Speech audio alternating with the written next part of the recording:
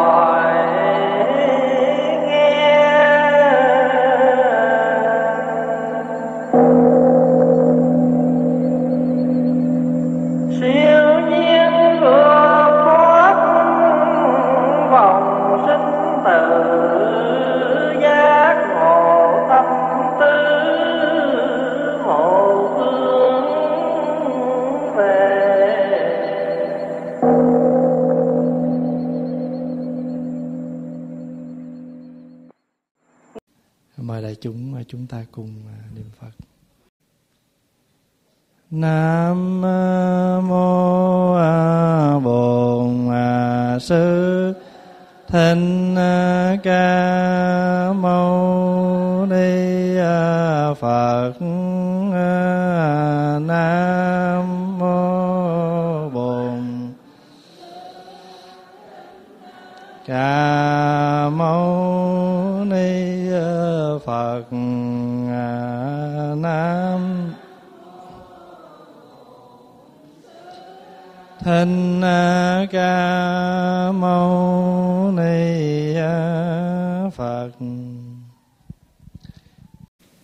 Kính thưa thầy chúng, hôm nay là ngày à, Chủ nhật mùng 4 tháng 10 năm 2015. Chúng ta đang ở tại tu viện Trúc Lâm trong giờ sinh hoạt Phật Pháp sáng Chủ nhật. Đại chúng hôm nay có khỏe không? À, trời bắt đầu vào thu, à, trời hơi lạnh rồi. À, chúng ta chuẩn bị à, cho mùa đông để chúng thấy là mùa hè thì chưa được bao lâu thì chúng ta đã bắt đầu thấy lá vàng. Lá vàng chưa bao lâu thì bắt đầu trời lạnh và cuộc đời cứ đắp đổi xuân hạ thu đông. À, người không hiểu thì người ta sẽ chán lắm. Người ta nói trời ơi chưa gì hết là thấy mùa đông. Nhưng mà nếu mình à, có tu tập mình nói tôi rất thích Edmonton Canada là tại vì tôi được hưởng đủ bốn mùa xuân hạ thu đông có những nơi người ta chỉ có mùa xuân à, mùa hè mùa mưa như ấn độ. Ấn độ không có mùa thu. Ấn độ chỉ có mùa mưa mùa đông và mùa hè. Thì hôm nay là chúng ta được à, về chùa tụng kinh và sinh hoạt phật pháp. Ngày hôm qua tối chúng ta có chia sẻ về một bài kinh. Bài kinh nói về sự tranh cãi sở dĩ chúng ta có cãi là vì chúng ta có những cái cái thấy của mình. Cái thấy biết của mình mình cho là đúng, rồi mình đi cãi. Cãi tức là mình bàn thảo, mình bàn thảo, mình bàn cãi để rồi mình phân tranh cái nào đúng, cái nào sai. Mà đa phần cãi xong thì mình đẩy hết cái sai về cho một đối phương kia để mình giành cái phần thắng, cái phần phải về mình, cho nên gọi là tranh cãi. Tranh nghĩa là giành.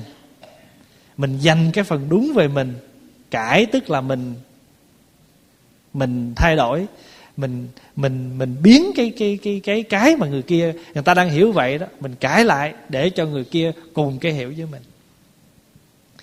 Mà trong cuộc đời này, chính vì mình cho cái đường lối của mình là đúng cho nên bắt đầu mới có sự bạo động, mới có sự kỳ thị. Thí dụ mình mở lòng, mình thấy, người này thấy như thế này vì mình cũng thấy. Cái thấy của mình là một cái thấy cái thấy của người khác là một cái thấy. Thì nhờ mình hiểu như vậy cho nên mình sẽ giảm đi cái sự độc tài, cái sự đàn áp và bạo động. Có nhiều người người ta có niềm tin nhưng mà ta nghĩ rằng cái niềm, cái đức, cái niềm tin của người ta là duy nhất. Không có niềm tin nào bằng niềm tin của người đó. Cho nên họ đi đến cái gì? Khủng bố, bạo động với những người không có cùng một cái niềm tin với họ. Nhưng mà đạo phật thì không dạy chúng ta như thế. Mà đạo phật dạy chúng ta phải nhận ra được chân lý. Mà chân lý thì không có cái ngôn từ không thể diễn đạt. Và phải mở lòng chấp nhận, mỗi cái thấy đều là cái tư kiến của mỗi người. Tức là cái thấy riêng biệt của mỗi người. Nhờ như vậy, khi mình sống chung một gia đình, vợ chồng cũng ít cãi. Vợ chồng mà tranh cãi tối ngày là tại sao? Chồng có một cái thấy, vợ có một cái thấy. Nội cái chuyện dạy con thôi mà gây lộn ngày cũng mấy cử á vợ thì dạy cách này, chồng dạy cách kia mà thay vì cãi, mình không ngồi xuống mình bàn. Mình nói bây giờ á, đứa con nó muốn như vậy, thì bây giờ mình phải làm sao? Ngồi bàn thì nó bớt cãi. Mà thường thường á, người ta kêu bàn cãi. Tại sao? Là tại vì mỗi người ôm một thành kiến. Cho nên ở trong ở trong một cái gia đình á, mà cha mẹ mà có hợp tác với nhau tốt á thì hễ mà ba mà rầy á, thì mẹ phải dỗ. Người tiếng việt nam mình gọi là người đánh người thoa. Một người la rầy thì người kia phải an ủi. Còn nếu hai người la rầy thì đứa nhỏ nó chịu không nổi. Mà hai người mà ngọt ngào hết thì nó dễ hư. Cho nên ở trong một cái gia đình, thà phải như vậy. Cho nên ở trong ở trong cái sự tu tập của mình đó là để mình phải thấy rằng mỗi người có một cái thấy, để chúng ta giảm đi sự tranh cãi. Đức phật dạy như thế này, sự thật là một, nhưng cách diễn bài của tâm ý thì nhiều, đúng không? Cái vấn đề nó chỉ là một thôi, nhưng mà mỗi người sẽ diễn đạt một cách khác nhau. Rồi mình cứ cho cái diễn đạt của mình là đúng, mình không chấp nhận cái diễn đạt của người khác. Có nhiều người á, người ta nói chuyện gì á, người ta muốn đi thẳng vô, người ta đi vòng trước. Ta đi vòng ta nói có đầu, có đuôi, có gốc, có ngọn gì, người ta vô cái mình nói, mệt quá, nói đại đi, chuyện gì? Đi vòng vòng ngoài mệt quá. Nhưng mà người ta muốn diễn bài cho nó có ca, có kệ, nghĩa là có đầu, có đuôi để mình dễ hiểu cái câu chuyện. Cho nên sự thật chỉ là một phải Hòa ví dụ vậy nè. Một thầy giảng sư mà lên ngồi giảng ít có khi nào thầy giảng sư thầy nói thẳng vậy Thôi kính thưa quý vị, Hôm nay tôi muốn nói gì, Nói chuyện với quý vị một đề tài, ăn chay. Rồi cái là đạo thao vô ăn chay, Nhưng mà thường thường người ta rảo. Trong cuộc sống của con người, Ngoài cái mặt, Cái ngủ, Cái nghĩ Cái đi đứng Còn có cái ăn. Người ta phải dạo một chút Người ta mới vô chứ. Thì cái là diễn bài cái sự việc nhưng mà người ta có một khúc dạo cũng giống như mình hát thôi. Trước khi mình bắt đầu vô hát thì mình phải nghe tiếng nhạc vài ba câu để nó bắt nó bắt cái điệu nhạc vô mình mới hát được.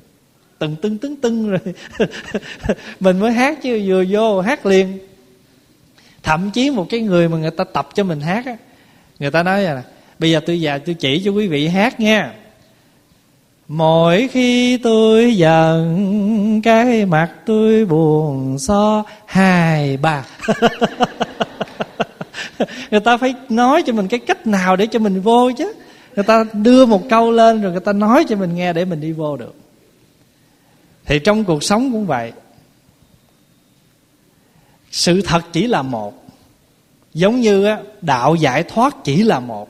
Chân lý là một nhưng mà quý vị thấy quý thầy diễn bài nhiều cách.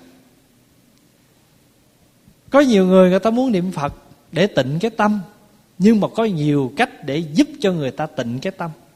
Người thì đi kinh hành niệm phật để tịnh tâm. Người thì lần chuỗi niệm phật để tịnh tâm. Người thì ngồi đi theo hơi thở để tịnh tâm. Như thế, tịnh tâm là chính, còn diễn bài cái phương cách là nhiều hiểu như vậy, thì đây, sự thật là một, nhưng cách diễn bài của tâm ý thì nhiều. Từ những góc độ tri giác khác nhau, cho nên có những sự phân biệt, lựa chọn khác nhau. Quý vị thấy không? Nội cái chuyện mình đi ăn buffet, đi vô mấy cái buffet mà xà lách người ta để cho mình đủ loại xà lách hết, đủ loại rau hết, rồi tự mình pha rồi tự mình để cái dressing lên. Rốt cuộc bưng lại thì mỗi người một dĩa gọi là dĩa gì? Salad. Nhưng mà nhìn salad thì không có dĩa nào giống dĩa nào hết. Dĩa thì sauce này, dĩa thì dressing kia, dĩa thì có olive, dĩa thì không có olive. Sự thật chỉ là một là một dĩa salad. Nhưng mà diễn bài thì khác nhau và sự lựa chọn cũng khác nhau. Những gì mà con mắt nhận biết nếu ta bị vướng mắt vào sẽ làm nảy sinh ra ý tưởng cái này đúng cái kia sai. Cái gì mình thấy đức phật dạy nha những gì mà con mắt mình nhận biết nếu ta bị bị vướng mắc vào đó thì ta sẽ bị lọt vào một cái nảy sinh ra ý tưởng cái này đúng cái kia sai. Phá hoài ví dụ vậy nè. À, Mình đi ngang cái bàn thờ à, Mình thấy à, Có một cái chén cơm Ở giữa con đôi đũa. Hai chén hai bên hai chiếc. Cái mắt mình nó vừa thấy Cái mình đi ngang mình nói ai bày cúng vậy? Cúng bậy bạ vậy? Ở giữa đôi mà còn sao hai bên hai chiếc. Thì mình vướng vô cái hình ảnh đó cái mình nói cúng vậy là sai rồi cái người kia mới nói, không, Cái người này mới mất Trong vòng 49 ngày. Để đôi đũa ở ngay giữa Hai chiếc hai bên.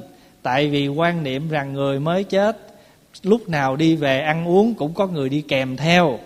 Mình để một đôi đũa, hai người kèm ăn âu, ăn lẹ, hối người nhà mình đi về.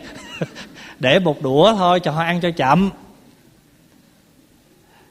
Rồi cái người kia mới nói, ủa, bộ mấy người kia không có ăn, không biết ăn bóc hả? Ăn nĩa chậm thì ăn bốc, còn ăn bốc không được ăn nĩa. Có đó chỉ là một cái nghĩ của mình thôi. Mình, có đó là một cái tư kiến của mình. Mình nghĩ mình nghĩ ăn một chiếc chậm cái mình cũng để một chiếc lên mình lừa mấy người kem. Nhưng mà thật sự, ở trong cái cõi đó không có cái người đi kèm nào với mình, với ai. Và cho dù có đi nữa, người ta cũng ăn bình thường, chứ người ta có ăn như mình nghĩ, ăn chiếc, ăn lẹ hối. Rồi bình thường chắc qua bốn chín ngày khỏi hối. không, thành thử đó là một cái nghĩ. Rồi từ những cái thấy biết đó của mình, cho nên mình nảy ra bao nhiêu những cái ý tưởng và mình dính vào đó. Rồi mình cho cái này đúng, cái kia sai. Còn tư kiến là còn tà kiến. Còn tà kiến tức là mình chưa thoát được. Chân lý là phải vượt thoát mọi cái thấy. Cái thấy nào cũng còn kẹt hết á cho nên bây giờ người ta mới đưa ra một cái cái kiến là gì? Trung kiến. Mình có trung kiến á. Trung kiến tức là cái kiến, cái thấy trung đạo, không thiên lệch bên nào. Sự việc này nó phải như vậy, giận nó vậy thôi. Thấy cái trung kiến, cái trung đạo. Cho nên đức phật dạy, những sự thật là một nhưng cách diễn bày của tâm ý thì nhiều, mỗi người mỗi cách mà, diễn bày theo cái tâm ý của mình. Từ những góc độ tri giác khác nhau, cho nên có những sự phân biệt lựa chọn khác nhau. Rồi, những gì ta nghe, ta thấy, và cả những giới điều cấm kỵ mà ta đang hành trì cũng đều bắt nguồn từ tâm ý ta. Nếu bị kẹt vào chúng thì sẽ dấn thân đi vào vòng tranh luận về những cái thấy khác nhau đó cái này hay lắm đó. Những gì ta nghe ta thấy và thậm chí những giới điều mà ta học. Rồi đang hành trì đều bắt nguồn từ tâm ý mà ra. Bây giờ pháp hòa ví dụ vậy nè. Có một cái luật. Cái luật ở trong chùa. À, mình tạm gọi nha mình nói luật ở trong chùa khi ăn cơm chung với nhau một mâm cơm thì ăn bằng cây muỗng gấp bằng đôi đũa. Tại vì nếu mình dùng chung một đôi đũa mình đưa vô miệng mình ăn rồi mình gấp chung với cái dĩa công cộng à, thì sẽ làm cho cái dĩa thức ăn đó nó không đủ vệ sinh. Cho nên để bảo vệ sự an toàn cho mọi người ở trong chùa có một cách ăn nếu ăn chung một mâm là ăn bằng cây muỗng và gấp bằng đôi đũa. Đó là cách ăn của việt nam, chùa việt nam. Nhưng mà ăn theo kiểu chùa trung quốc thì mỗi người sẽ có hai đôi đũa mà hai cái màu khác nhau. Ví dụ màu xanh thì ăn cơm thì màu đỏ để gấp. Cho nên mỗi lần dọn cơm là dọn một đôi đũa chung màu đỏ, còn đôi đũa cho mỗi người màu xanh thì ngồi vô ăn cơm thì nhớ đôi đũa xanh là đôi đũa của mình mà đôi đũa là để gấp. Như vậy thì tất cả cái đó là do ai đặt? Mỗi chùa mỗi truyền thống tự đặt ra. Nhưng mà lỡ cái hôm nào có một người khách họ chưa biết ất giáp gì hết, họ ngồi vô họ ăn theo cái thói thường, lùa lùa lùa, thọt vô. Nhưng mà có người người ta ăn xong người ta liếm đôi đũa, xong người ta đưa vô tô canh, tao còn quậy quậy về cái rồi mình thấy xong là bắt đầu mình ngồi mình bực rồi đó. Tất cả đều do mình đặt ra. Tại sao mình cúng cơm ba chén? Tại sao mình cúng trà ba chung ba chung? Cái đó là do mình đặt chứ không có luật lệ nào hết á. Vì mình nghĩ rằng con số 3 là con số căn bản của mọi sự việc để nó thành tựu. Bây giờ cúng một được không? Có sao đâu đâu có bắt buộc phải là ba. Nhưng mà mình tạm thời mình đặt ra một con số để người ta có cái khái niệm người ta nương tựa. Theo truyền thống việt nam cúng kiến ông bà, cúng đương sự ba chén, mà cúng dỗ chung cho ông bà là bốn chén. Đó, cái cái số bốn chén đó là tượng trưng cho số chung. Cho nên cúng dỗ cho ông bà tổ tiên chung là để bốn cái chén. Còn cúng riêng cho một người thì ba chén có nhiều truyền thống, người, có những địa phương người ta không cúng bốn chén mà người ta bới một tô cơm, xong ta để chồng chén, ông bà tự ăn tự bới. Cái đó gọi là kêu self service. Rồi mình đi ngang mình nó cúng dày trật. Cúng chỉ là tượng trưng. Rồi bây giờ mình đem chè lên mình cúng phật. Đem chè lên cúng phật thì mình cứ để chén chè cúng phật mà không nhất thiết phải ba cây muỗng mà thí dụ bây giờ muốn để có sao không? Cũng không sao. Mà lỡ có quên cũng chẳng hề, tại vì phật là người ấn độ. Mình lỡ quên để muỗng phật sẽ ăn theo kiểu ấn độ. Có sao đâu mà phiền hà. Cho nên mình phải thoát ly được những cái kiến, cái thấy của mình, mà cái thấy nào cũng còn vướng mắc hết.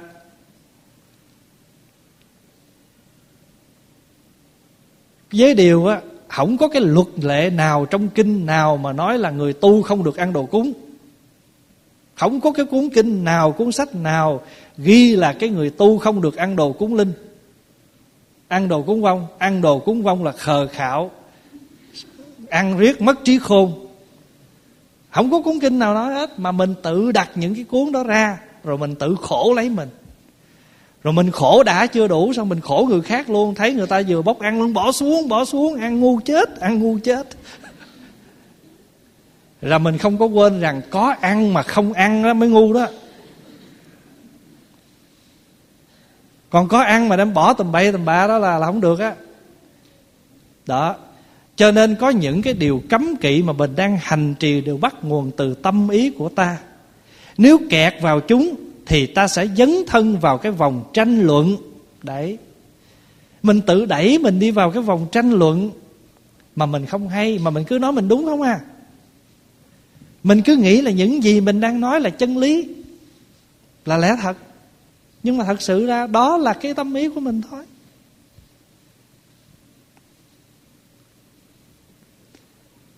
Rất là nhiều những cái cái điều mà mình tự mình làm khổ mình như vậy. Cái gì mình cũng thật sự ra, đạo phật có nó ờ đừng có làm cái đó tội. Nhưng mà tùy chuyện nói. Tùy chuyện mà mình đem cái chữ tội ra mình ứng dụng. Mà nó riết cho người ta lờn cái chữ đó, người ta thấy giờ gì cũng tội hết.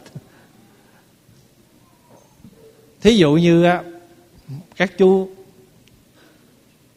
phá Hòa mới nói là, ồ, lâu lâu á nếu mấy đứa thấy thầy làm cái gì không đúng, tụi con cần góp ý với thầy, cứ góp ý. Tại vì thầy là người thương đại chúng. Nếu đại chúng có những yêu cầu, thầy sẽ cố gắng thực hiện nếu thầy thấy điều đó hợp tình, hợp lý. Chứ mình không thể nói rằng thầy là thầy. Cái gì thầy nói là đúng, không ai được quyền cãi. Cái đó là mình bị vướng vào những cái điều mà mình gọi là chấp trước.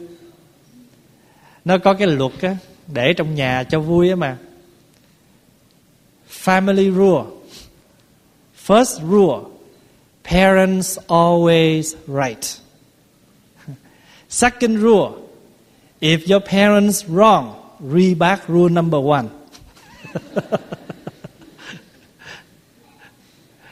Đó có cái cái đó là nó đùa như vậy. Đó là cha mẹ là luôn luôn đúng điều thứ hai nếu lỡ cha mẹ sai thì hãy đọc lại điều số một.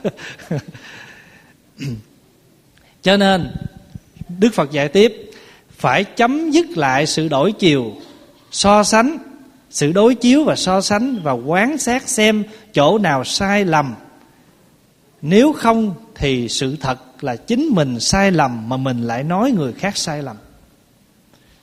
Cái quan trọng ở đây là mình phải so sánh cái mình làm ra đó sau khi mình nghĩ mình đúng đó xong rồi bây giờ mình so sánh coi cái sự việc người kia nói cái nào nó hơn?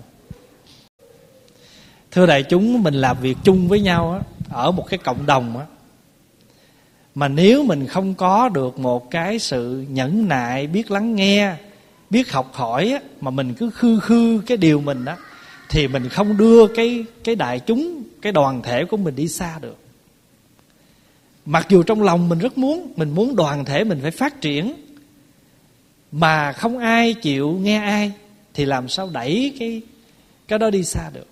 Cho nên phải lắng nghe. Có nhiều cái mình làm, người khác làm mà mình so sánh. Cái nào người ta hay hơn mình phải học. Mình phải đối chiếu, mình phải so sánh để mình thấy rằng chỗ nào sai lầm do cái tri giác mình nghĩ thì mình phải đổi ánh để mà không đưa mình đi tới cái chỗ là mình sai mà cứ nghĩ người khác sai. Thường thường cái người uống rượu say đâu bao giờ nghĩ nhận mình say cho cái điều này quan trọng. Mình sai lầm mà mình lại nói người khác sai lầm. Kẻ kia cũng tự cho họ là đẹp, là lành và muốn mình đi theo họ, ai cũng tự khen mình là hay, là giỏi. Vì vậy cho nên mới nảy sanh ra tranh cãi và oán thù. Đúng không? Mình sai mà mình không nhận mình sai thì mình nghĩ như vậy được. Thì người khác cũng nghĩ như vậy. Cho nên rốt cuộc rồi thì sao? Tranh ra tranh cãi, oán thù. Có tranh cãi là nếu mà cãi mà không được thì là mình sẽ có oán thù do đâu mà có sự tranh cãi? Vì mình có cái ngã. Cái ngã là cái ta đó. Hôm qua mình có nói đó, cái ta là cái tôi á. Cho nên có một câu nói như thế này. Đôi khi bạn cần phải im lặng, nuốt cái tôi vào trong, chấp nhận mình sai. Mình sai để làm gì? Không phải là bỏ cuộc, mà là trưởng thành. Pháp Hòa nói lại, Đôi khi mình phải nuốt cái tôi vào trong Im lặng mà nuốt cái tôi vào trong Và chấp nhận rằng mình sai. Chấp nhận sai không phải để bỏ cuộc, Mà là để mình trưởng thành. Trưởng thành là gì? Là khôn lớn. Biết lúc nào nhịn, lúc nào nói, Mà nhiều khi mình nhịn được cái tức một chút, Tránh được cái lo trăm ngày. Cho nên đôi khi mình nói Mà nói xong rồi sự việc nó tệ hơn, Thì thôi để dịp khác nói, Không phải lúc này. Có những người á, Người ta khôn lớn, Không do học ở ngoài trong trường, mà cái trường đời là một cái nơi đã đào tạo nên một con người sống rất hay. Cho nên trường đời á, là một cái ngôi trường không bao giờ hết lớp bây giờ có những bác ngồi đây cũng 80 tuổi. Nhưng mà bác có có bao giờ bác đó nói là ở đời tôi tôi học hết rồi? Không không trường có thể.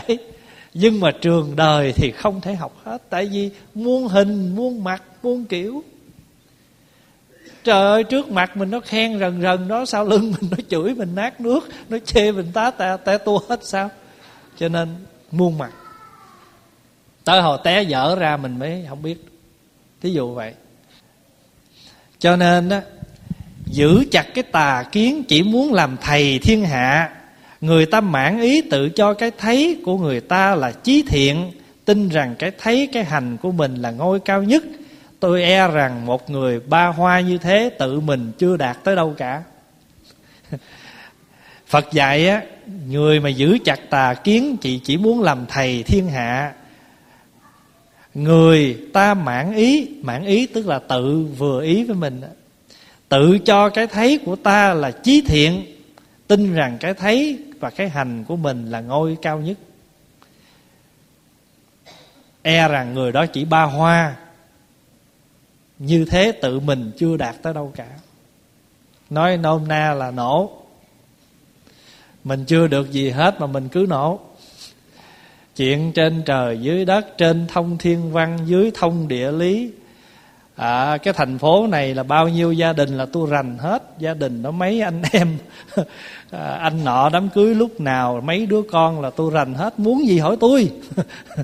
À, khi nào bạn chứng nghiệm được bản được chân lý này thì bạn mới có thể à nếu mình cho cái hiểu biết của kẻ kia là sai lạc là đáng hổ thẹn thì kẻ kia cũng cho cái hiểu biết của mình là sai lạc là đáng hổ thẹn.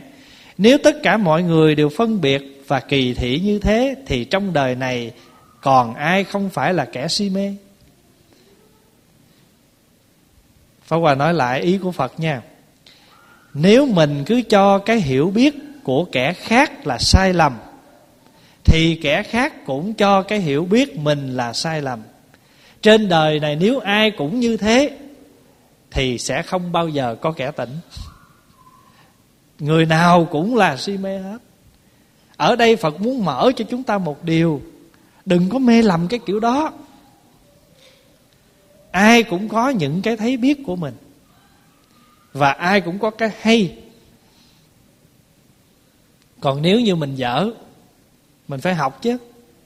Học. Tại sao mình phải học? Tại vì mình muốn hay. Mà trên đời nó ngộ nha. Mình dở, mình muốn học, Mà học xong không muốn chỉ. Không muốn chỉ người khác. Muốn mình mình biết thôi. Cho nên rồi đời nào mình sanh ra cũng mờ mờ, mê mê. Tại vì sao? Tại mình không có mở lòng mình chỉ cho ai hết. Cho nên nó ngộ là đời này mình nói sao tôi không được ai chỉ dẫn gì hết. Đời này nếu mình thấy rằng mình không có được thông minh thì biết là đời trước mình gieo cái nhân che giấu nhiều á. Cho nên đời này biết cái gì thôi cũng đừng giấu, tại vì có giấu cũng có giấu được đâu. Bởi vì mình chết rồi thì nó hết thôi. Mà nếu mình để lại thì người khác được hiểu. Tại sao mình không để truyền cái đó? Nếu mình ôm cái đó, mình chết là cái đó chết theo mình. Còn nếu mình chia sẻ, mình chết cái xác thân mà cái tài năng của mình lưu lại cho nên quý vị thấy không? Cái người mà người ta chế ra máy bay là nhờ cái cái người chế máy bay. Người ta chế ra cái gì đời, người ta chết mất đất đâu rồi. Nhưng mà tới bây giờ mình vẫn được thừa hưởng. Và những người sau, nhờ cái căn bản đó người ta chế tác còn hay hơn nữa. Cho nên cái đó là cái mà chúng ta phải suy nghĩ lại. Mình thấy người ta sai mà mình không biết mình sai. Rồi người khác cũng nghĩ y chang thì thế giới này có gì đâu gọi là hòa bình nữa. Ai cũng sống trong cái mê lầm. Rồi cuối cùng phật kết luận, chỉ khi nào bạn chứng nghiệm được chân lý này thì bạn mới có thể nói rằng bạn được tịnh hóa. Nói như thế thì dễ gây ra biến loạn. Đó là nguyên nhân làm phát sinh ra độc đoán cố chấp và án hận. Bây giờ phật dạy mình á, phải nên quán chiếu. Nếu mình cứ nghĩ như thế thì sẽ dễ sanh ra biến loạn dễ sanh ra những sự độc đoán, cố chấp và oán hận. Thôi bây giờ mình phải nên quán chiếu. Quán chiếu như thế nào? Chân lý phải thấy rằng mình có cái sai, người khác cũng có sai. Người mình, người khác, mình mình đúng, người khác cũng có cái đúng. Phải thấy cái đó. Có đôi khi mà mình mắc cái bệnh nặng hơn nữa. Không bao giờ làm, nhưng mà thích, góp ý kiến.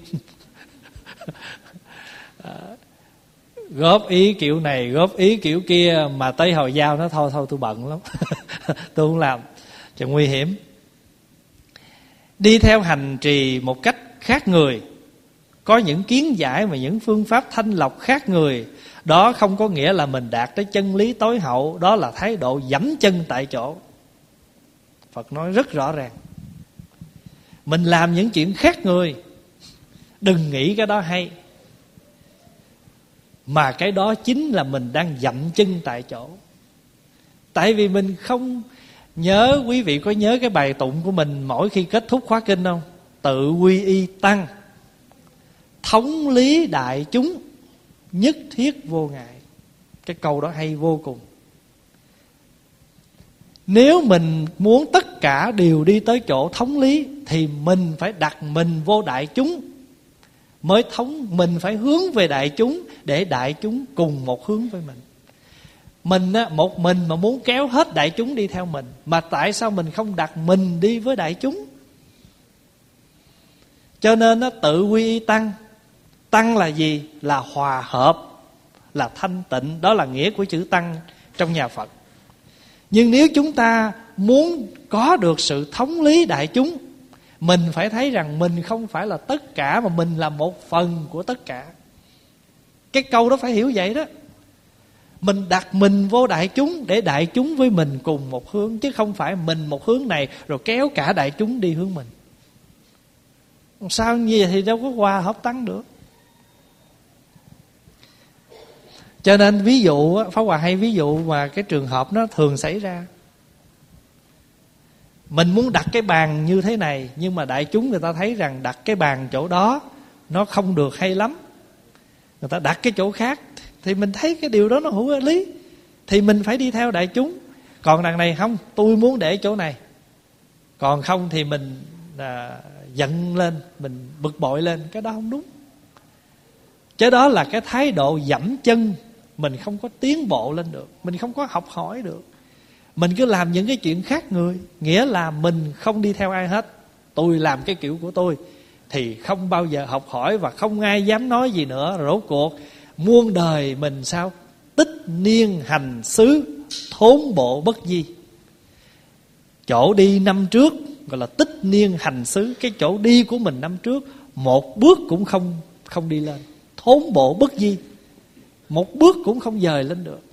Đó là làm sao mình tiến bộ được và mình sống ở trong cái xã hội tiến bộ tiến hóa văn minh mà mình không hề tiến bộ từ cái cách sống cách hành xử của mình.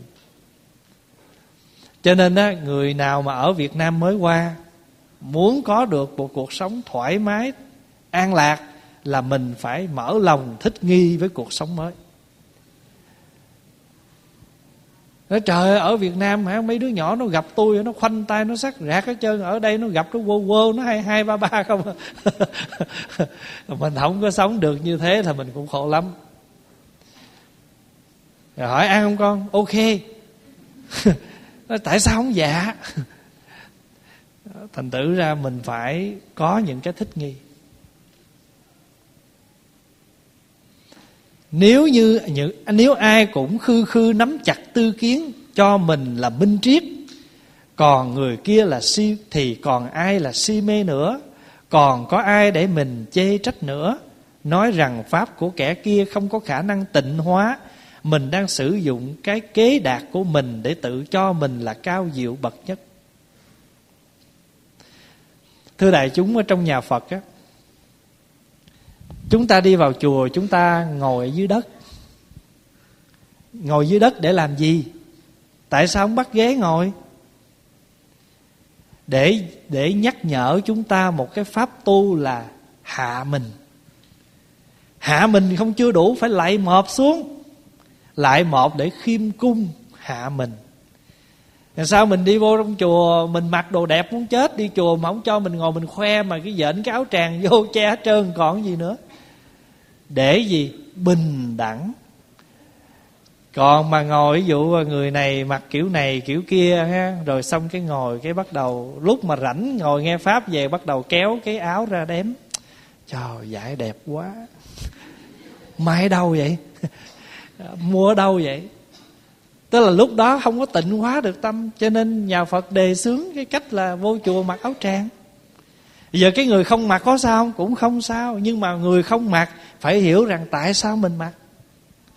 Mặc cái áo tràng là để mọi người đồng hết, chứ không có ai giàu có hơn ai. Anh giàu có đó là cái giàu, cái mặt ở bên ngoài. Còn khi đi vào đây rồi là mọi người bình đẳng giống nhau. Cho nên ngồi đất mặc áo tràng.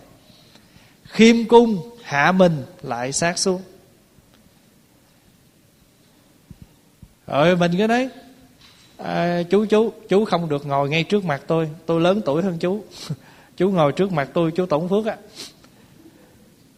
Ở trên đời này á mình nói người ta trước mình nhưng mà trước mình nó còn có trước nữa. Quý vị để ý hôm nào mình lái xe đó mình dành mình đi trước nhưng mà được trước mấy chiếc biết không? Chiếc à.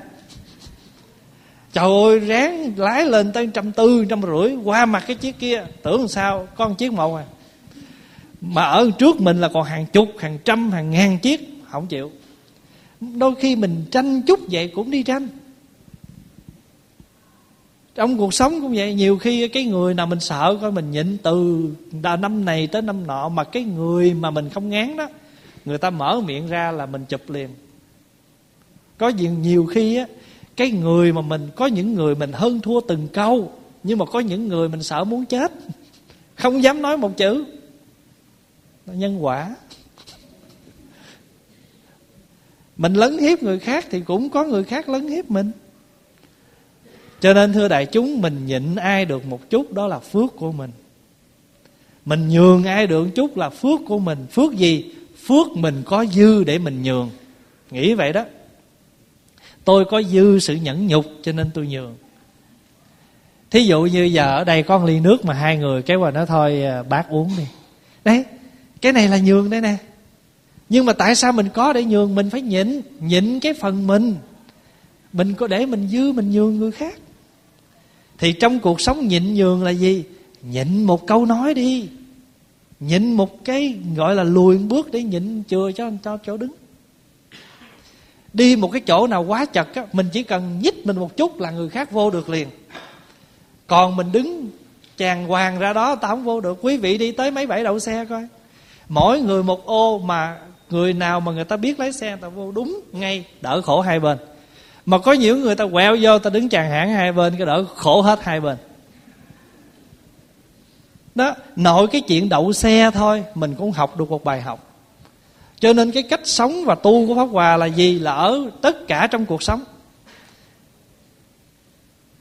Nhiều khi mình lỡ mình đậu vậy rồi, cái mình tự nói với mình mình đậu vậy là một lát nữa làm sao người ta đậu? Thôi chịu khó, lui nhích cái xe mình cho đàng hoàng, để người khác người ta đậu. Bây giờ thưa đại chúng, có những lúc nào quý vị bị người ta đậu xe vậy, quý vị bực không?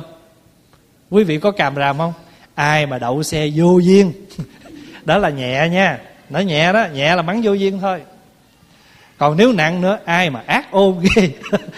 Đó, thì mình nhớ là khi mình bị người khác đậu như vậy, mình liền mắng người ta như vậy, thì nhớ khi nào mình như thế này, người ta cũng sẽ mắng mình như thế đó.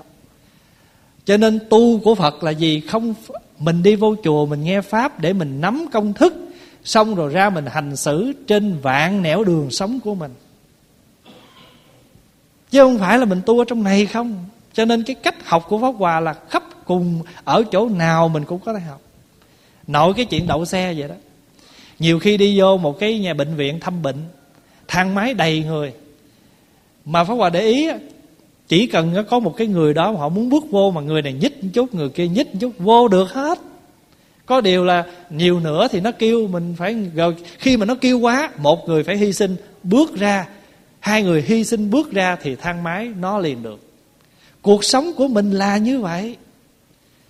Mặc dù mọi người nhường mình hết, nhưng nếu không được nữa, phải một hai người trong nhóm phải hy sinh, bước ra để sự việc nó được trôi chảy.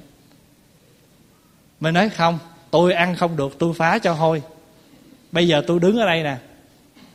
Thà là không đi hết, đi bộ. Quý vị thấy không? Cho nên sự tu hành của chúng ta chính ở những chỗ này. Có lúc hưởng là hưởng chung mà cần hy sinh, mình là người bước ra hy sinh. Chỉ cần một giây mình đi chậm chút cũng tới thôi hôm nay cúng dỗ của bác trúc trơn là một phật tử thuần thành của chùa bác yếu chân. Hồi đó đi hành hương bác hay đi chung mà yếu chân bác đi chậm lắm.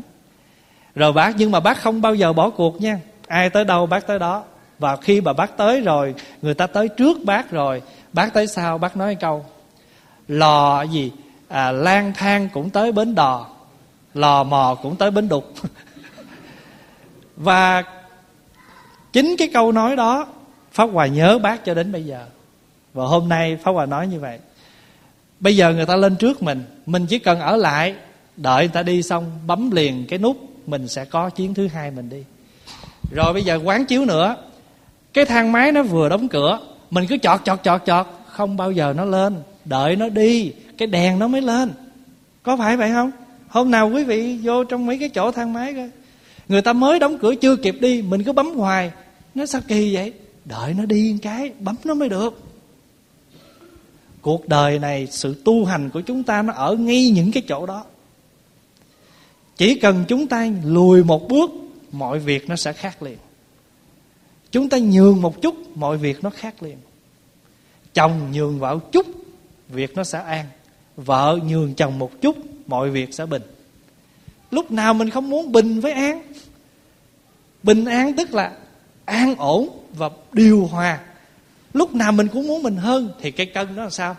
Nó bất đồng bóc chỗ này một chút, thả vô kia, làm sao cho cái cân nó bằng? Như thế gọi là bình an trong cuộc sống. Vậy thì bình an là gì? Nghĩa là chúng ta biết quân bình cuộc sống của mình, từ vật chất đến cái hiểu biết của mình.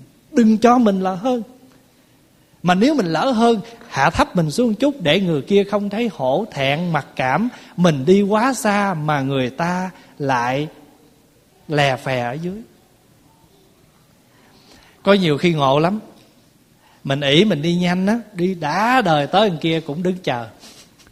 Mà vậy hồi nãy thôi, giờ đi chung đi cho nó khỏe. Quý vị để ý coi, thỉnh thoảng mình vậy đó. Đi thiết là nhanh, đi tới góc kia, thấy má mình chưa tới, đứng ngồi, đứng chờ mà hồi nãy phải chi mình kè má đi, cái xong chuyện thôi phải không? Trong cuộc sống là mình là như vậy. Đi cho nhanh, cho nên người ta thường nói, nếu anh muốn đi cho, anh đi một mình, anh muốn đi nhanh thì anh đi một mình. Anh muốn đi tới chỗ, anh nên đi chung. If you want to go fast, you go alone. If you want to arrive to the destination, you go together đó là cái cách sống của mình. Muốn đi nhanh thì cứ đi một mình, mà muốn tới chỗ thì phải đi chung. Thì hôm nay pháp hòa lấy cái bài kinh này, trích từ trong kinh tạng, để chia sẻ với đại chúng, cho chúng ta thấy rằng tóm lại cái bài kinh đức phật đưa ra những cái điều để nhắc nhở chúng ta thôi.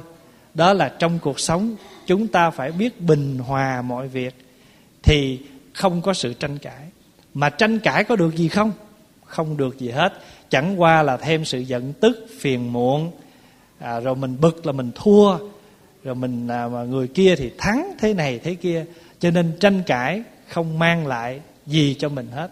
Mà cái quan trọng là chúng ta phải thấy mỗi người có một cái nhận biết khác nhau. Mở lòng chấp nhận lắng nghe và học hỏi thì làm cho gia đình của mình cũng như là đoàn thể của mình được đi xa, đi tới chỗ. Và cảm ơn đại chúng đã theo dõi à, bài kinh này và mong rằng tất cả chúng ta học kinh là để chúng ta vui vẻ,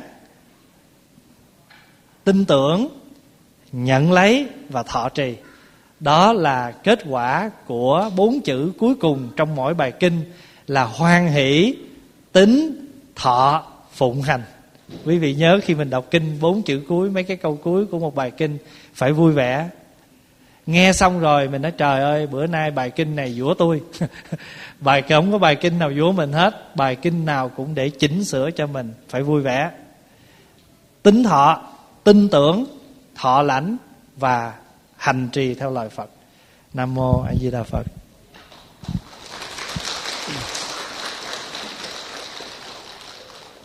Mời đại chúng hồi hướng. Nguyện à, đem à, công à, đức này hướng về khắp tân cả đệ tử và chúng sanh đều trọn thành. Phật Đà